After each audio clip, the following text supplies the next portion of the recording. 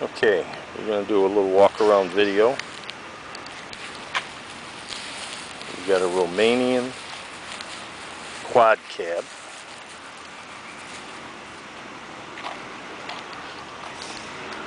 It's got a General Motors Chevy drivetrain.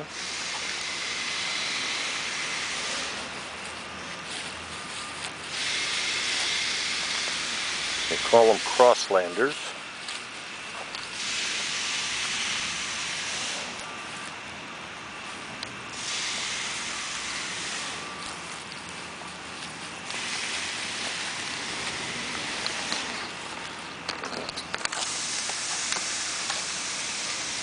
Can see that it's a General Motors Chevrolet, actually 350 engine, has air conditioning.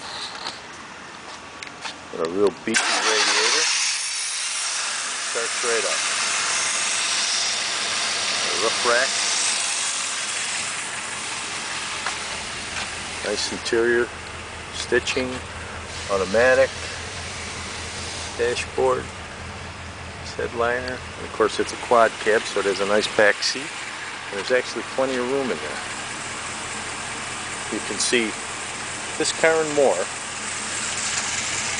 this quad cab and more, at 17 Classic Cars.